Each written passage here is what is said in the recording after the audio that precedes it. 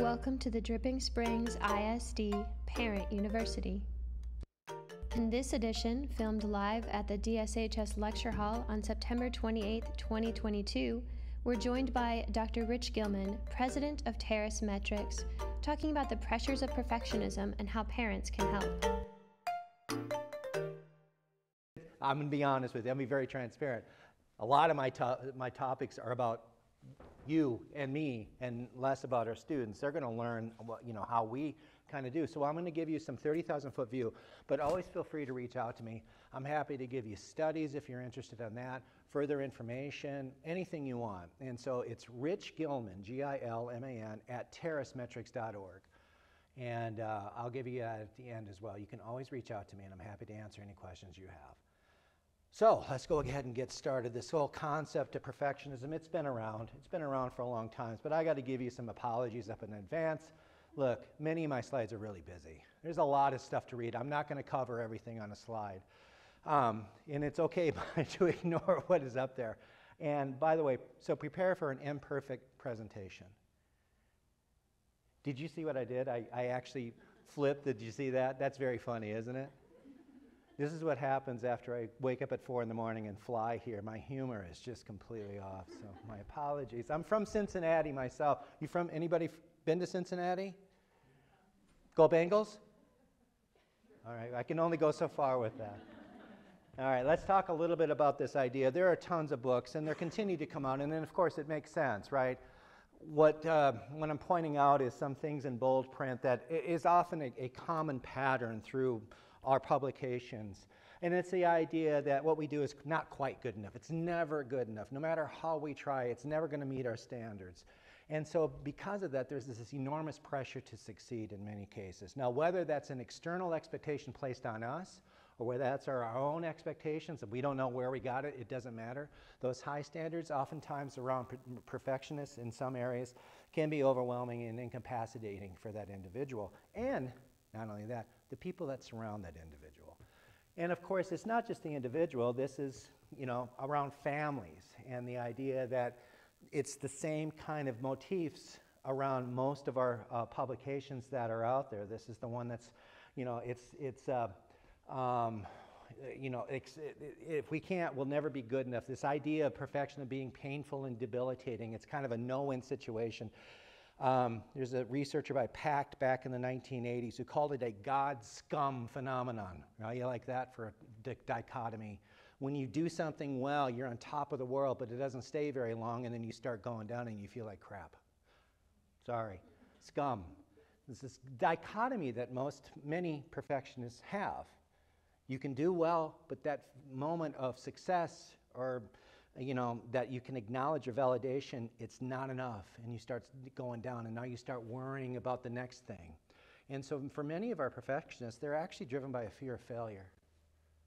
The idea of doing something not for mastery of material, but not, not to fail. Think of our athletes. How many of you were athletes growing up? And that's a big driving force for many of our athletes to do something not because I want to do it, but I don't want to look like a fool in front of my, cla- my classmates or my teammates, among other things. So it's that whole idea of that dichotomous perspective that some perfectionists have that I want to address. But let's talk about just some examples that are out there. This is an idea. Have you ever heard of Prince? Of course, Prince. It does take a drive to be successful no matter what we do. And what I mean by success, I'm not talking about success that's like this, where you're an international sensation. Success is however you define it. But there is a drive to do that. And in this case, of course, you've got a, a, musician like Prince and how it was described to him, but it goes beyond that. How many of you are Eagles fans? You know, the late Glenn Frey, right? Glenn Frey, the idea that people describe his obsessive perfectionistic tendencies. Even he says it's no accident. The idea for him would be to continue hammering something that anybody else would say is good enough, just good enough, J, G, E, but he would take it one step further. And because of that, of course, because of that drive, you had some of the best music that came out in the 70s and then in the 80s. Again, there is a drive here, but at what cost? And sometimes we learn from it. Sometimes we learn from it. So here's one. This is Steve, Steve Jobs. You've heard of him, right? So Steve Jobs, and you know, his perfectionistic tendencies were legion. How he would drive not only himself, but more importantly, those around him to do better and better and better. But it came at a cost. It came at a cost not only to him and his health, but those who loved him the most. So there is this fine line between pushing ourselves, but also how that's being manifested around uh, those who, who love us the most. And that was shown, for example, in this one. And this is Martha Stewart. Martha Stewart, self described, I push and I push from her perspective. And right, there's nothing wrong with that. But from her daughter's perspective, it was a little bit different. His daughter's perspective was this awfully hard to live with somebody who is a perfectionist. Because oftentimes, when a perfectionist is doing what they're doing, they don't just hold their standards to themselves. They expect oftentimes those around them to maintain the same standards. And that's very difficult. For those of us, uh, not me, but whoever grew up with parents, for example, who are perfectionists, awfully tough to live with sometimes. Not bad, but tough. So that's one side of it, is all of these negatives, but we don't need to think about these celebrities. Let's think about this individual. Far less a famous example. The problem with him, unfortunately, was all of his energy was placed on success. And when he placed that much variance, that much um, um, weight on success, remember the God scum? You, you spend a lot of time in the scum and not a lot in grub. In many individuals, if they don't have poor coping skills, they end up doing some things that if they just took a step back, they, they could think about doing other ways. Here's another example. This is Dr. Jonathan Drummond Webb one of the most amazing guys because what he did is he specialized in a very uh, type surgery of heart defects. Not many could do it, and he did. His rate was so successful 98% success rate. 98% in one of the most difficult surgeries you can have. That's 10 and a half surgeries he would do a week. 98% success rate. But he would focus on the two that he couldn't. It was very difficult to accept mistakes. And as you probably can guess, when you're at that point, at that level where you can't balance it out, those mistakes become unbearable. And again, he did something that was very tragic. So that's one side of looking at one type of perfectionist. But I want to challenge you on something as we're going forward here. It's not so much the perfectionists. Are there different types of perfectionists? The old way of looking at it was very much what I just showed you in those slides. That was the way that most of us see perfectionism, right? Even when we say perfectionist, there's a negative connotation to that. But I want to challenge you. I want to say, uh, you know, let's think about it differently. And I'm just going to give you some take home ideas and think about this. And it's around these ideas the idea of striving for something. Let's call that standards. Standards means how high I have my standards. But then let's look at the opposite side of standards, and that's that thing called self criticism. And that's not a dichotomy, they're related. But the point of it is, there are some individuals that really have high standards, but they accept mistakes. They're not as self critical as others. Now, let's go back to your own children. And let's think about that dichotomy, not dichotomy, let's think about that dimension.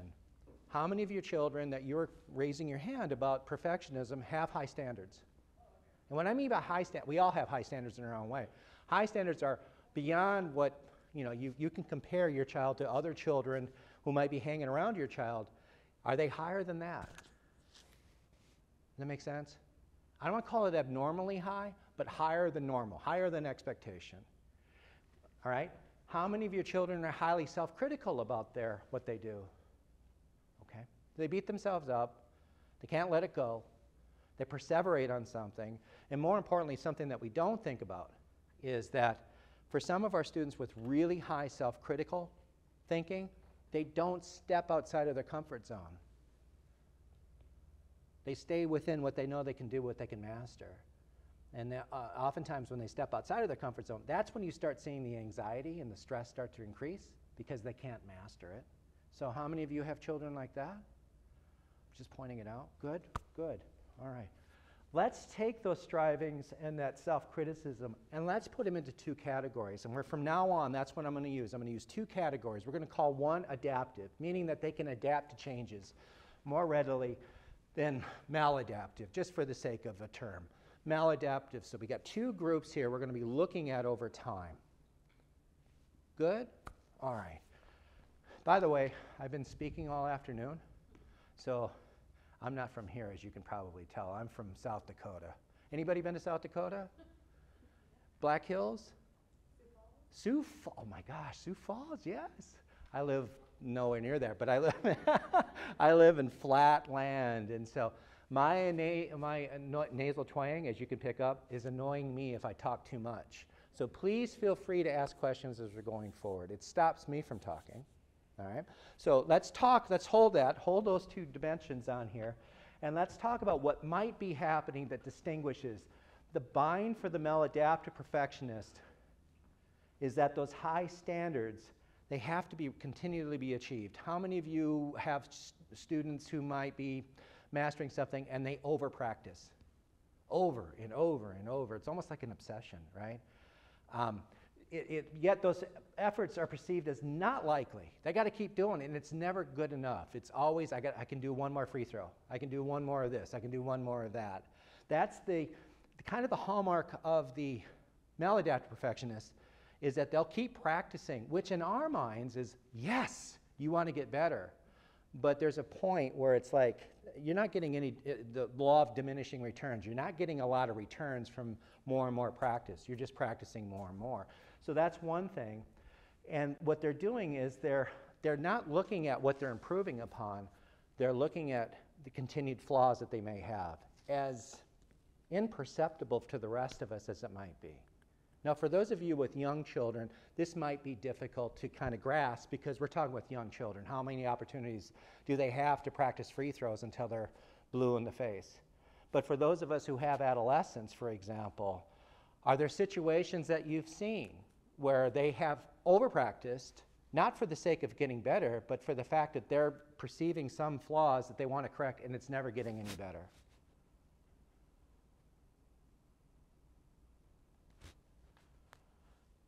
It's all around coping. What's happening here is that the distress is increasing. How many of you know when you look at your child, you see the stress levels rise? How many of you can see that? What do you see when their stress levels rise? What are some of the physical characteristics? Body tension. Yeah, what, what tenses?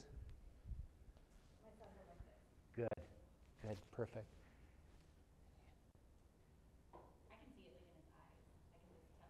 There's a sense. There's a sense like, uh oh, something, something just went left. Got it. Anybody else?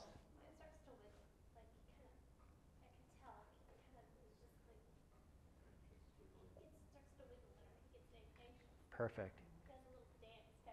That's good. I love it. I love it. How about uh, anybody else want to? so he over he talks. He doesn't go quiet. He talks. Great. And does, when he talks, does his cadence get faster? Does his voice get louder? Those kind of things. So it may not not just frequency, but what he's doing with his speech. And what is he saying to himself when he's constantly talking?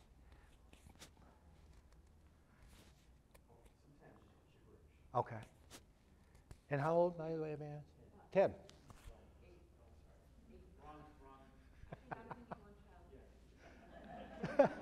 it's okay. Eight and ten. Oftentimes, that's good. Thank you. Thank you very much for sharing. Oftentimes, what you will hear is exactly that, but it's also the negative self statements. And it's, I can't do this, or it's like, where did this just come from? Those kind of negative self statements. And what that is, is just, it's just, a, it's a coping mechanism that's not helpful. And what it actually is doing is it's, it's exacerbating their stress levels. I'm going to walk you through what's happening. I'm just kind of giving you a sense. And then we're going to talk about what's happening under the hood, so to speak, when your child, who might, you know, have maladaptive perfectionist, is under that stress level of performance and it's not going his or her way. So I'm giving you that. And it is hard to change. For example, for, the, for your students, like you're seeing, okay, you're starting to stress out. What do you typically do to try to get them to calm down? For my, uh, my kid's only five, um, so I just hold me a big breath and I try to distract him or talk to him about something else. Good. Does it help? I, Sometimes. sometimes. Good. Good. Perfect. Excellent. Any others? Sleep, eat, and exercise. Sleep, eat, and exercise. Sleep, eat, and exercise. For him. In the moment when he's stressed out, can he do any of those or? Good. Go to sleep. I mean, it's just so you're seeing him. I, I'm not saying I'm saying he, he's starting to increase. You, uh, you, you got him to sleep, eat, and exercise. Is he hearing you at that moment, though? Is he hearing these commands? Yeah, I, I think sometimes. Okay, good. How about when your child is speaking and raising in cadence and maybe the self talk? How do you get him to calm down? If you can.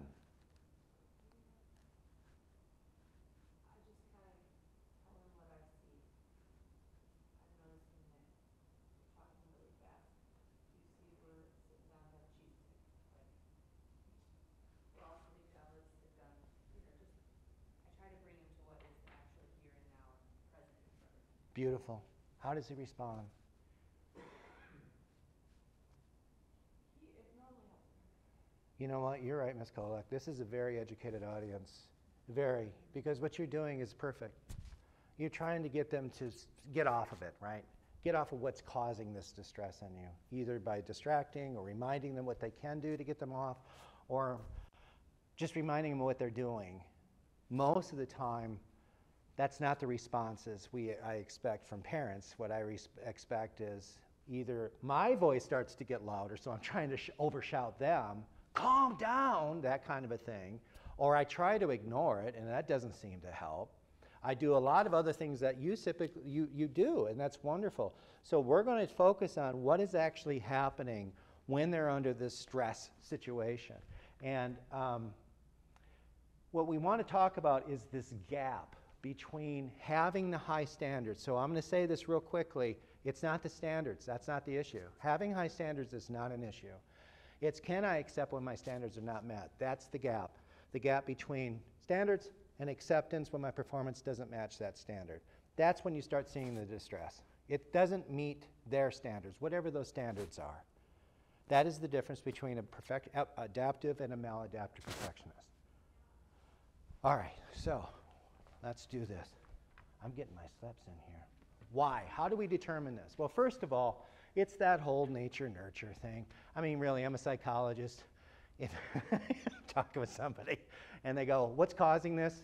You know, if I don't know, I'm just going to pull out, Well, it's kind of nature nurture. You know, they're born with it and they kind of learn from it. But it really is around this, too. The idea of temperament for your children that you've said, Yeah, they have it. When was the moment that you re- realized you're kind of high strung here? When was that?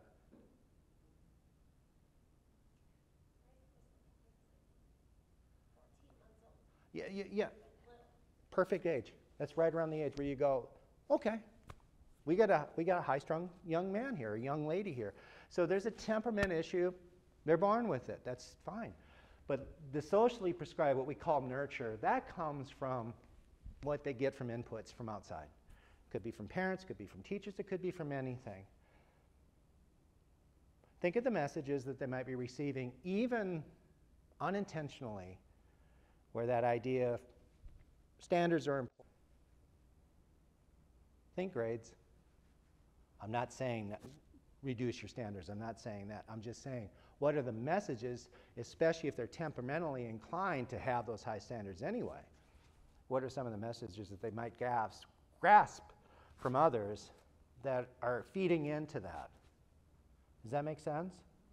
So, um, there's a whole bunch of other things that are happening, but it really is, when we think about perfectionism, there's actually, like anything else, because of the Genome Project, there are actually alleles in our genes that we've identified seems to be a culprit, the- genetically predisposition for perfectionistic tendencies, especially the maladaptive. But it is really 50 50. It's, okay, even if you're born with that, that means nothing. That just means you're susceptible to that. But it's the messages that they often receive that they might be, might be misperceiving. And that's the key we're going to be talking about because it's all around here. And that's distinguishing this So this is data that we've collected to show you the differences between an, uh, um, an adaptive and a maladaptive and a non-perfectionist. Definition of non-perfectionist is I don't have any standards. My standards are not comparably high. You know, and there's nothing wrong with that, by the way. Nothing wrong with that. So this is an example of data that we have collected through our system, and this is what 14,000 students. Just a kind of a breakdown. It's a general sample matches um, national standards, but what we're looking at here is distress, anxiety, and depression. And we also measured peer victimization, which I won't show here, hello, but also the resiliency side, because we often forget it's not a one way street. If a student has resiliency characteristics, these are strengths that a student has, both internally but also social supports. If I have those, then I'm more able to successfully work through the uh, anxiety or depression if they're high enough. If they're low, then my anxiety uh, or depression or whatever adversity, that's kind of running the show. Make sense? So, so our resiliency is our, our protective barrier here against the adversity. So what we did is we did this and we measured against those who were identified as adaptive versus those who were maladaptive and those who were not. And it's all around standards and acceptance of performance. So adaptive is your blues, your maladaptives is your dark reds, and your non-perfectionists is your oranges. Hopefully you can see the distinctions. What are you seeing there? So does that mean the left two bars in each section combined would be ten-ish? Yeah. Ten out of fourteen are on the perfectionist scale? Yeah, these are mean scores. Mean, mean life satisfaction. They're all based on a scale of five. So, or sorry, no, no, six. So life satisfaction, mean score for your adaptive. And adaptive, are, again, are those students really high in standards in comparison to others, but also what they're rating in terms of their self-criticism and their acceptance is um, much lower. In comparison to a maladaptive, equally high standards, but they have a really hard time accepting occasions when they can accept or uh, accepting when their performance doesn't match their standards. That's the definition. And then again, the non-perfectionists, their standards are comparatively significantly lower than the other two groups. So what you're seeing here is what? Social connections, Yeah. What does that tell you about that? that it's more difficult socially for them. At least from their perspective. At least from their perspective. And I'll show you in just a second. But for the other ones, hope, leadership, positive school experiences, life satisfaction, let me tell you a little bit about those two life satisfaction and hope because we use those terms a lot. Life satisfaction is a very simple concept, and I'll ask you a question. You Don't answer it, but I'll ask it. Think about your life in the past six months. How are you doing? And you have to think about all the things that are important to you, and you have to weight all that accordingly. And then that's your global satisfaction score, really.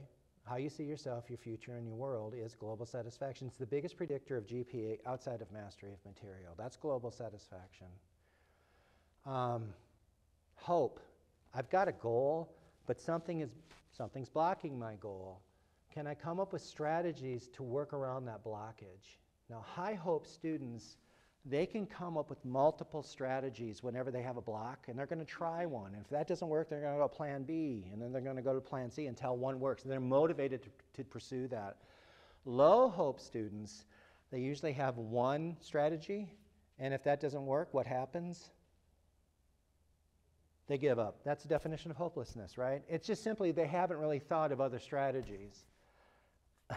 we, we talked about this this morning with, with the team. Um, think about your life right now, where you are right now, and go back to when you were 18 and you were laying in bed, you were thinking about your life and what you wanted to be. Is this it?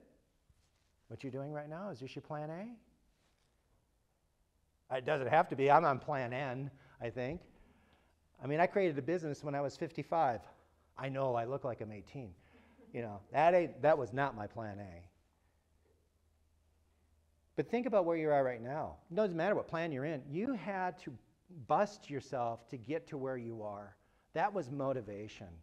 And that's another thing about what we think about hope. It's not just coming up with ideas and strategies, it's the motivation to pursue them. Now, look again to hope. What do we see here? Between adaptive and maladaptive and non perfectionists. They're both higher than the non perfectionists, right? They can come up with strategies. Now, whether those strategies are, are good strategies or whether they elicit anxiety, that's a different ball of wax. But what we're seeing here is at least if you've got high standards, that's not a problem in terms of our protective mechanisms.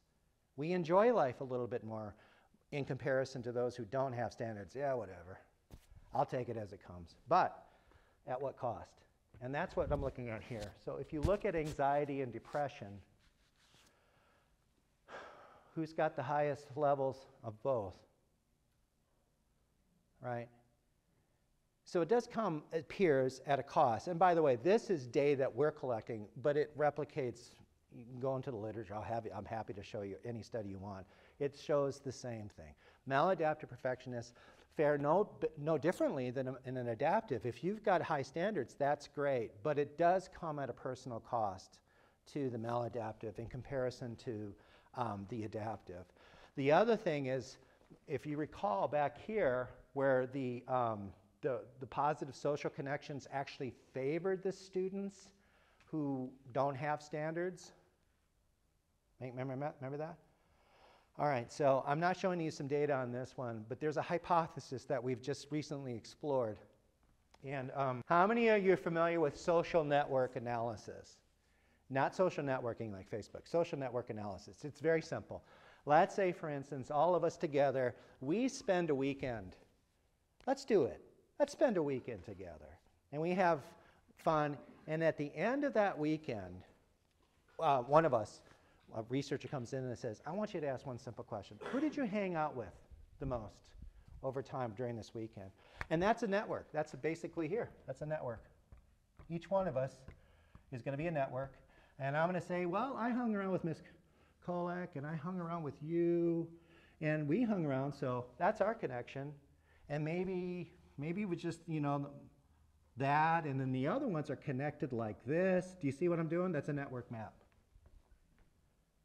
So there's key aspects of any network, and that's here. Because let's say, for instance, this dyad connects with this individual. That's called a broker in a network. That's called a broker. A broker is very important in any network because the only way information is shared from the network to this is where? That individual. The only way this information here is shared with the network is through that individual. That's called a broker. A broker has a very important position in any social network. That requires a lot of finesse because this dyad probably has different sets of principles, whatever, than this. And this person has to navigate those two. You've got to be cognitively flexible to do that. Who do you think is occupying the position of brokers? Yes. Yeah. It's the non perfectionists. They're connected more. One of the hypotheses is that they are, because they don't have those high standards, and one of the high standards is I've got to belong to this group, right? Think athletes, right? That kind of a thing, is that they're more cognitively flexible to kind of navigate through these social things. Now, the other thing that we know is this is that in other studies, we know this adaptive and maladaptive both have higher significantly higher GPA. That shouldn't come as a surprise. I mean, those standards are really high, and usually that's shown through uh, GPA. But let's go back to that. yes, that's a hypothesis, but if you compare the adaptive versus the maladaptive from the peers perspective, not from self reports, but peers perspective, and that usually is like measured around who do you hang around with, who do you like? Those are kind of studies too. Adaptive perfectionists are significantly higher ratings in terms of likability than the maladaptive. Is that surprising? No. Why isn't it surprising? I'm, I'm well, I mean, in theory, we strive for standards for belonging, and if, um, if there's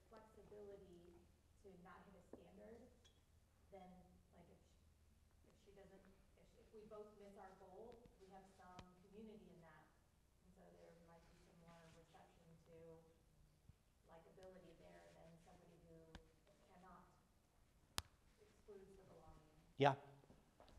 Have you ever hung around somebody who beats themselves up? It's not a good feeling to hang around with somebody like that, especially if they manifest that in behaviors. You slow down, cowboy. I'm going to go over here. Uh, When you calm down, I'll come back, that kind of a thing. So there's, there's multiple reasons why, but I'm just saying there's a social component between these two as well. And then finally, when you think about optimism about future, not so much for young students because that hasn't been done yet, but for adolescents, especially going into high school, and they think about their future beyond life, beyond high school, and they measure that through optimism. Uh, again, uh, adaptive perfectionism on average and significantly higher reports of optimism than maladaptive. So we got these two distinctions between these two groups. So what might uh, be happening here? The difference seems to be how we're dealing with stress. And when I say stress, I mean perceived stress. Because sometimes, think about it, you know, if our student starts acting up, on the outside I'm thinking, what are you getting so upset about? This is nothing. But again, I'm seeing it from a perspective of an old guy. And I don't see it through their, their eyes, but their eyes is where it's important. So it is perceived stress. But let's think about what's happening. So here's what I'm going to do I'm going to show you this, if I can just erase this. I'm going to show you a picture of the brain. All right? Now, I am very, thank you. thank you very much. I am, before I chose psychology, I went to art school. And so I'm very proud of my artistic. So here's the brain. Thank you. Thank you. If you want to take a, a photo shot of that, that's fine, but I need some royalties. So this is, this is the brain looking this way, all right? Looking this way. And there's three components of anxiety. It really is. And I'm going to point them out to you, but I'm going to go real quick because what I'm telling you now essentially is a full semester. I'm going to do this in about four minutes. I know, crazy, but I think it could be working. If you take your uh, finger and you go up your spine, and where it joins the back of your head, that's a very important part right here. It's the oldest part of our brain, by the way. Every organism has something like that. It's called brainstem. And the brainstem is responsible for things you're not even aware of, but it's keeping you alive. Heart rate, blood pressure, all that stuff is located there, which means if you destroy just this part of your brain, you could still be alive, but you're essentially not alive. That's where it all starts. Brainstem. It is the oldest part. As I've said, every organism has this. Every organism, when it's responding to a threat, that's where it starts. There's a little buzz. I'll just say that. And when that happens, every organism is programmed to do one of three things. Let's test this out. When a lion is threatened, what's a lion going to do? Very good. Are you in psychology? Oh, you're very good. Fight. What about a gazelle? Now, do you have a, Oh, for goodness sakes. Possums here. so when a possum is threatened, okay, they freeze, right? They're not going to fight back. I mean, it's very rare you're going to see a, a lion run away unless there's something that overrides that impulse. But that impulse is very p- profound. Every organism is programmed. You know what's interesting about human beings is that we can do one of those three. We don't really have a choice, but we temperament, among other things, we, we have, we can do one of those three. Sometimes we fight, fight, fight, sometimes we flee, sometimes we freeze. It's the same thing, and it starts here. So when a threat comes, that's where it starts, and it's going to go, it's going to buzz. Let's put this into play, play for a second. Let's say you're driving to the school. By the way, when you drove to the school today, is this the first time you drove here? You've drove here many times, right? I'm sure many, many times. And in fact, you probably drove here so many times that you weren't even thinking about the route you took here. What were you doing instead?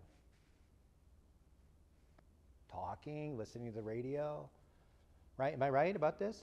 So, but let's say tomorrow you're driving here, you're dropping somebody off, you're coming to this school, and about a, block and a half away, you see a red car, and that red car is flying to the intersection where you're going to go. What's the first thing you're going to do?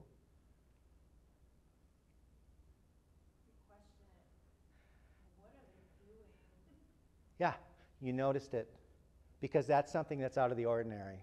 That's the thing about, in this case, a red car going faster. It was out of the ordinary, and you automatically attend to that.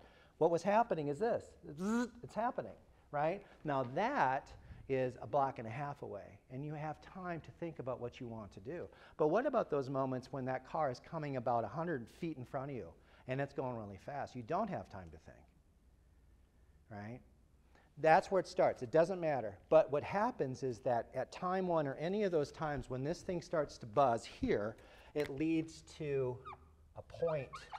Now, you don't do this at home, but if you take a pencil and you go down about six inches from the top of your head, there's a part of your brain that's about, I'm not kidding you, about a quarter of your thumbnail. It's that small. But that is where your emotions are. Has anybody ever seen the movie Up? No, not Up. Inside Out. Mm-hmm. Tell me the characters of Inside Out. Joy, sadness, anger, fear, and disgust. You did it. You did it. Very good. I love that movie because that is our basic emotions. Our basic emotions, again, is coming from a part of our brain that's very primitive. It can only process those five basic emotions. Yes, we have other emotions, but they're combinations. Think of it as a color palette. So, jealousy, what would be a jealousy? What's that combination of? If I get jealous, what, am I, what are the emotions I'm experiencing? Well, one would be anger, right? What's the other one? Fear. Anger and fear. So they're combinations. It happens here. So what's happening is when this thing, whenever there's a threat, that red car, and it automatically links to an emotion. What emotion would you have if you see a red car coming at you? Fear, probably, right? Tomorrow it happens again. Fear, right? But now you've expected it because it happened yesterday. So what's going to happen now tomorrow? What are you going to be expecting? Because it happened two days in a row. Right, you're going to have the same, bzz. it won't be as strong, but it's still going to be because you're preparing for it. Tomorrow, it's not even a red car. It's not even the same red car. It's, it's, a, it's just a car, but it's coming fast. You're prepared for that. It doesn't matter. You're still going to experience the same emotion. That's the essence of anxiety. Anxiety is a threat to whatever we have, causes this to lead to an emotion, and this is the point. Point is, this emotion, as small and as primitive as it is, it tells this part of our brain, which is this right here, to shut down. Does anybody know what this part is? Frontal lobe. Very good. What's that responsible for? It's, it's the boss of everything. The ability to think through problems, to work through it, to overcome. And science tells us when does this frontal lobe fully develop in us as human beings? Mid 20s. Mid 20s. Huh? We got a ways to go. It's constantly developing, but it's not fully developed at least until the mid 20s. So, what is going on here is if, if, if this emotion gets too strong, it literally tells, sends a message, a chemical message to our frontal lobe, and it says, shut down, don't think. Now we're just a ball of emotions. Sometimes, by the way, that's adaptive. Can you think of any time when that's adaptive? When we can't think? We shouldn't be thinking? We should be rea- responding?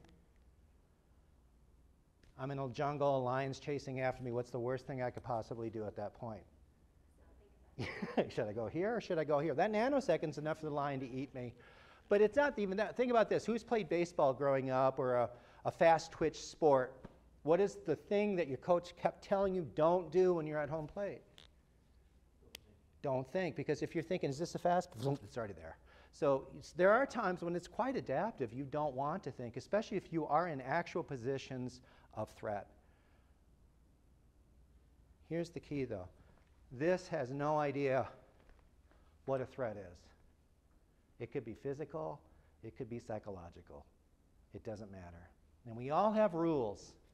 We all have rules that we go with. And I'm going to give you some rules, and you tell me if I'm wrong, because I have this argument with my wife. This is why you don't want to marry a fellow psychologist, because these are the kind of arguments you get into. It's not about leaving your socks out, it's these kind of arguments. There are fundamental universal rules that we all have. All of us have them. And if they're violated, that leads to a threat too. One is the need to belong. Think of any time when you you have felt that you weren't belonging. Maybe you were at a party and nobody was connecting with you.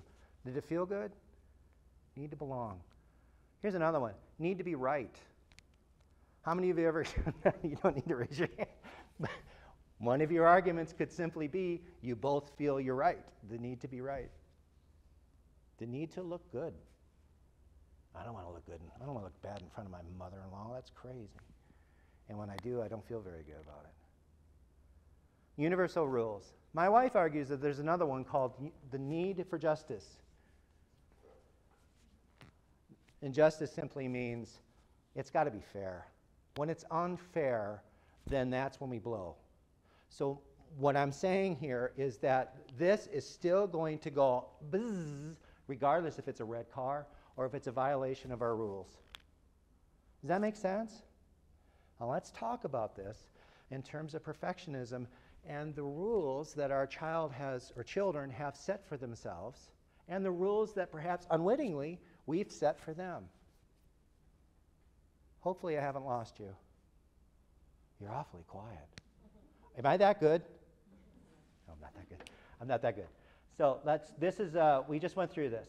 Threat comes, and I, I've given you a 30,000 foot view of the same thing. What happens during stress, especially if we don't have coping mechanisms, is that when our emotions go um, uh, too much, they send a message and to shut down. The solution is what? Got to keep this thing firing. Got to keep this thing firing. And this is how I'm going. I'm going to teach you one. Are you ready for this one? Who said they, they try to get their child to breathe? Who was that? Was that you? Perfect, perfect.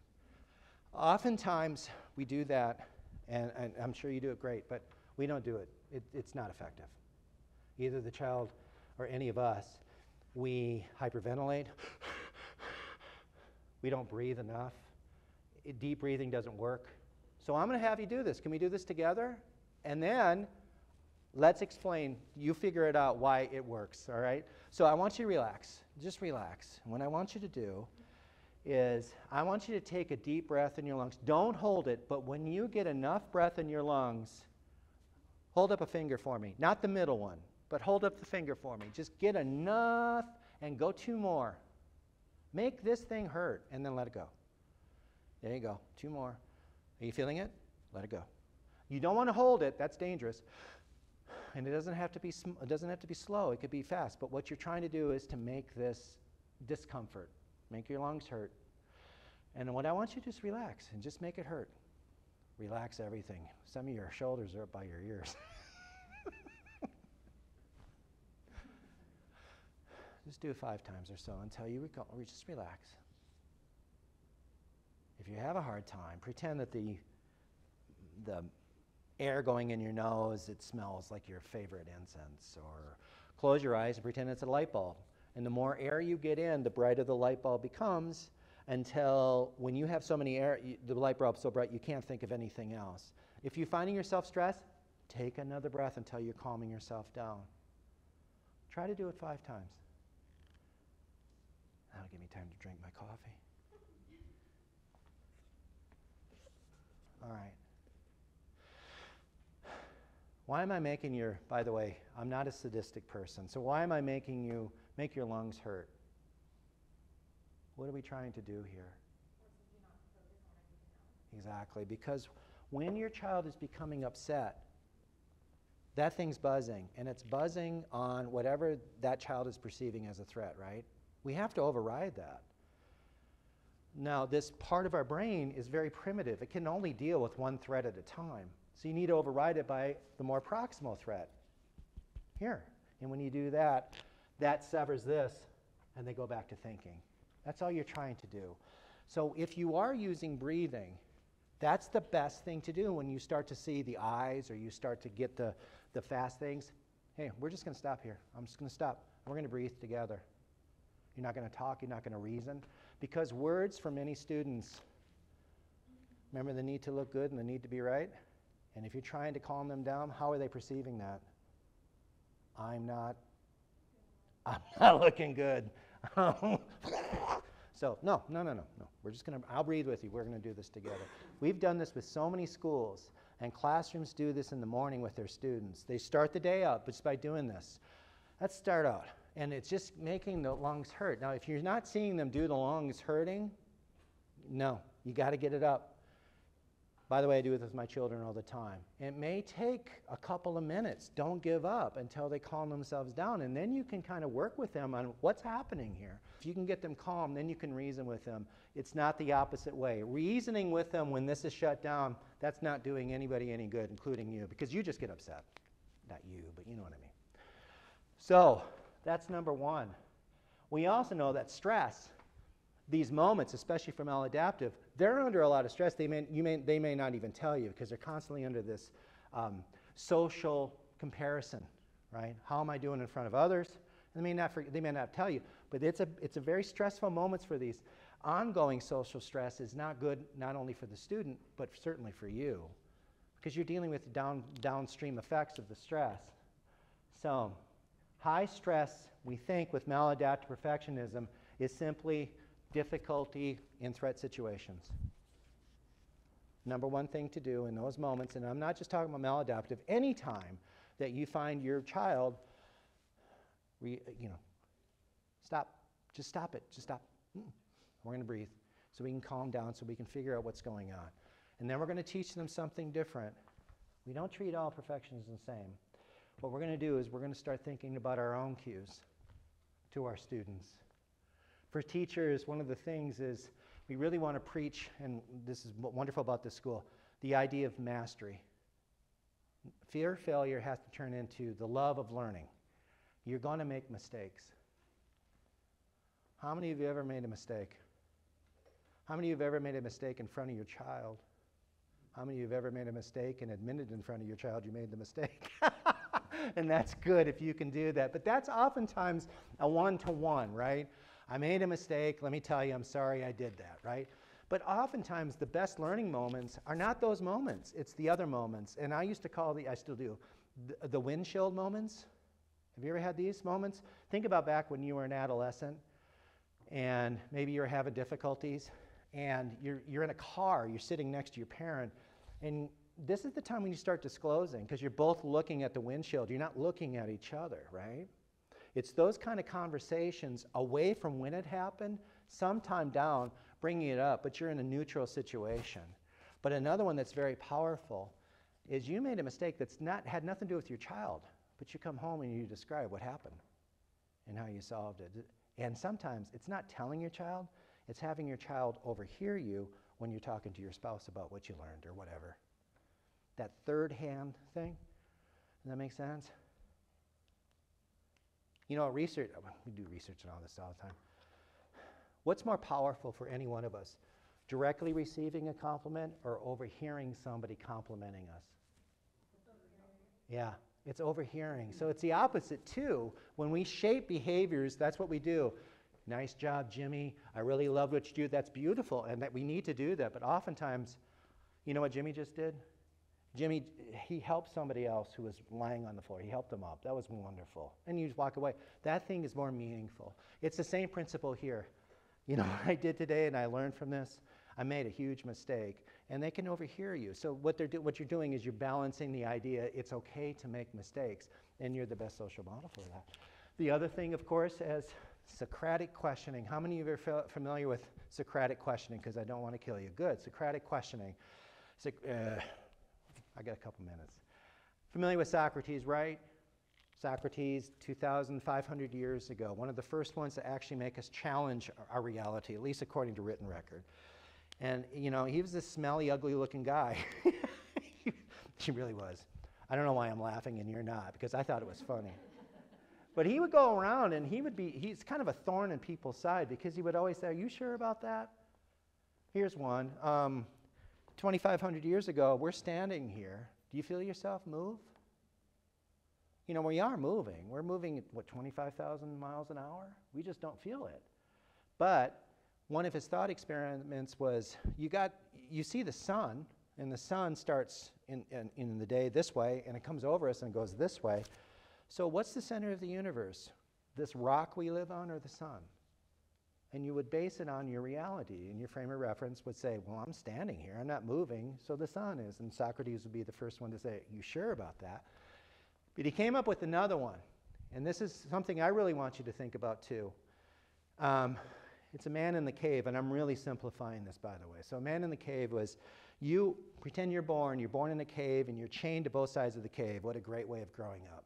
You've never seen anybody, you've only seen the wall, and behind you has always been this perpetual fire casting your shadow on the wall. And one day I come in, you don't see me because I'm behind you, and I say, Tell me what you look like. How are you, what are you going to base it on? So describe what you look like. Right, so describe it. What do you look like?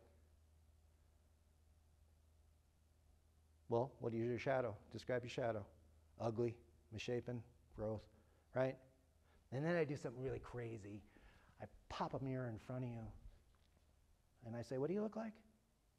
Now, what are you going to base your frame of reference on? Most of the time, when we create these rules, it's our frame of reference. Whether it's true, whether it's false, that's for us as parents to help them understand. That's Socratic questioning. And it's very simple weigh the evidence. And the big one is this uh, when you get them to calm down, remember when I said they usually say negative self statements? Don't let those self statements slide. No, we're going to talk about the self statement. I can't do anything right. Let's put this one in.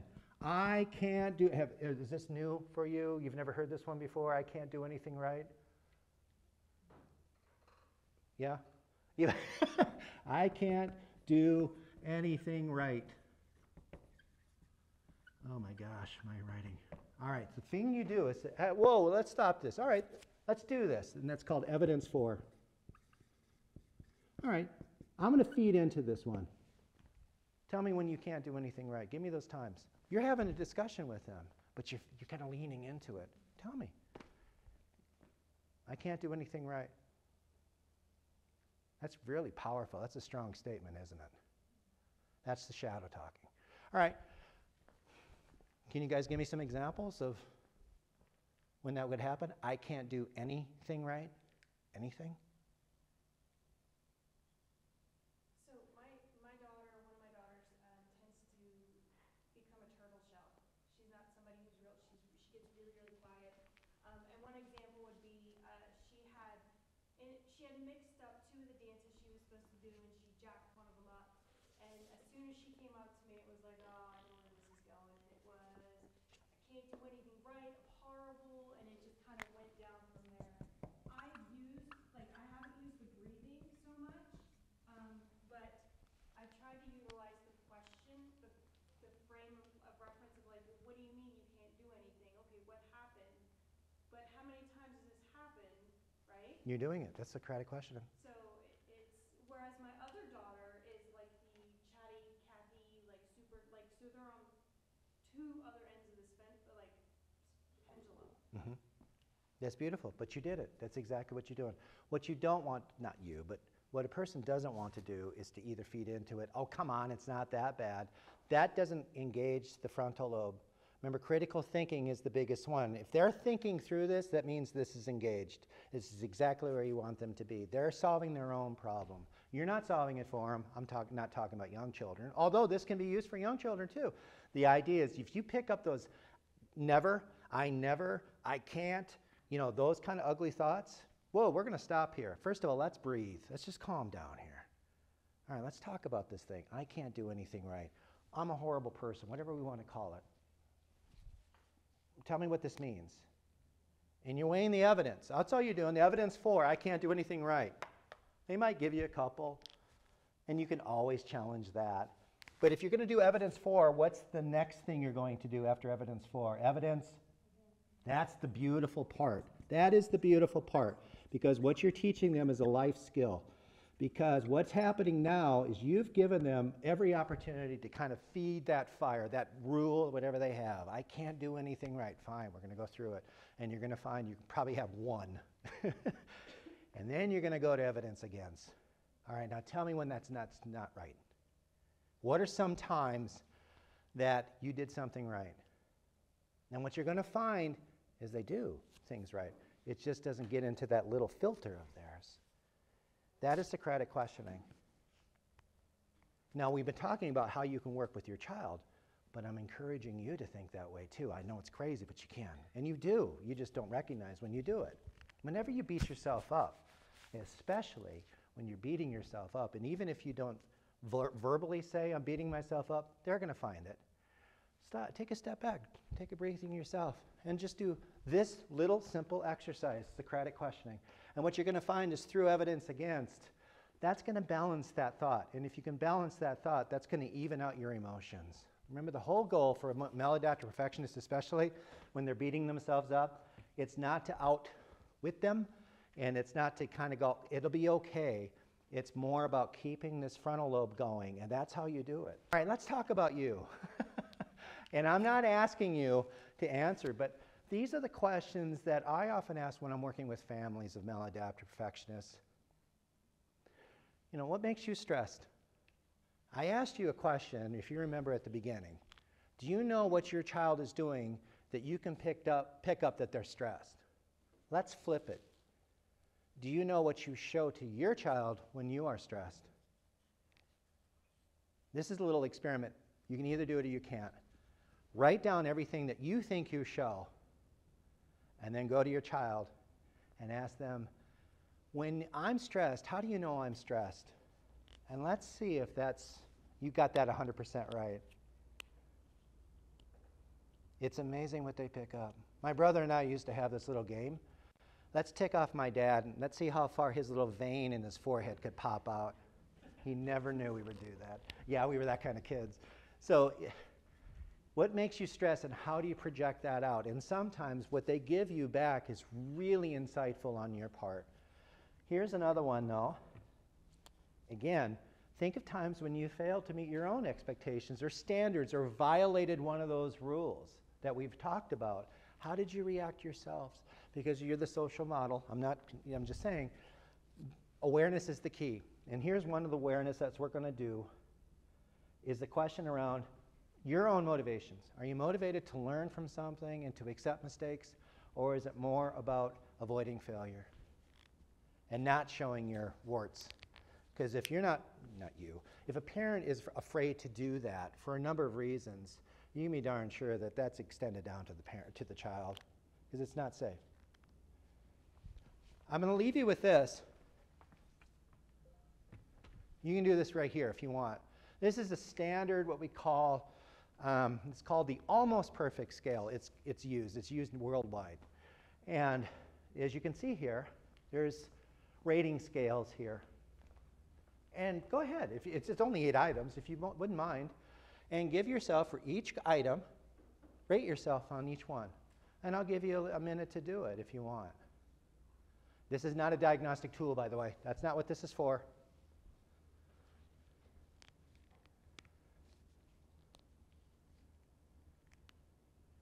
I'll give you a minute.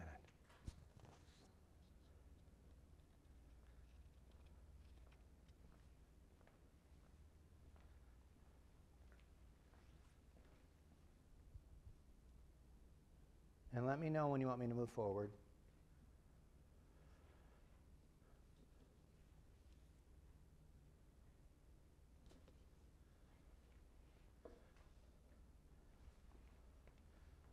Does Terrace Metrics have to donate to get a new whiteboard?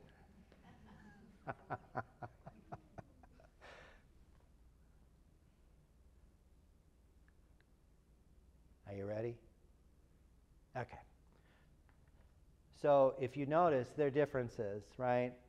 One, three, five, seven, that's your standards. Two, four, six, and eight, that's what we call performance. Are you able to accept? So what we have here is go ahead and add up your items for 1, 3, 5, and 7 and do the same for your discrepancy, the discrepancy between your standards and what happens when you don't meet them. If your standards are greater or equal to the total score of 24, you've got good high standards.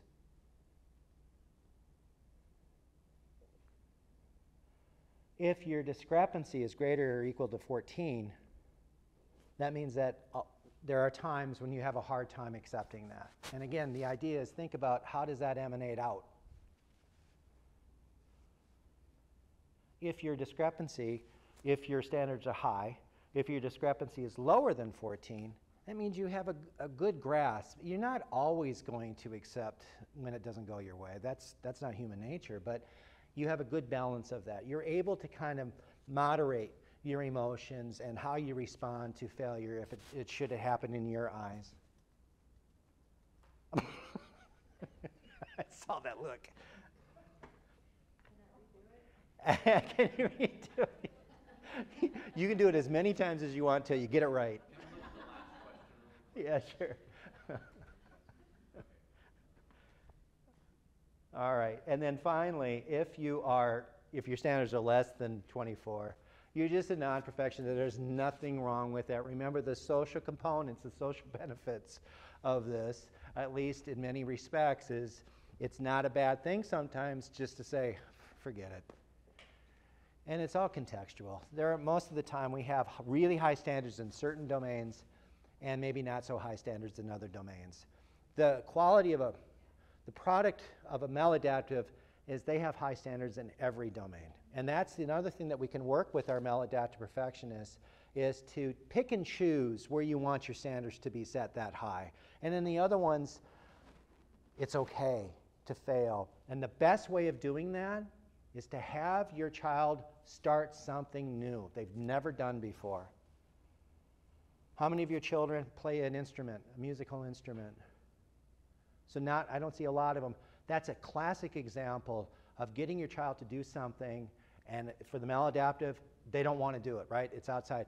But the goal here is to have them do it and you're working with them because they're going to fail and you're there to help process. They'll never get this right, you know, that kind of a thing. Really? Let's talk about this. So that's a, a wonderful way of doing that. We have curriculum around this that we can have for you as well. Um, we have curriculum for adults around what can we do to not only, I'm not kidding you, get our child to fail. We're going to force them to fail. I know it's crazy, but through our guidance, they're going to learn it's not the end of the world to fail. You've learned something through that. I really went along. I spent a lot of time and I hope this was beneficial and worthwhile for you. Thanks for joining us for this edition of Parent University. We'll see you next time.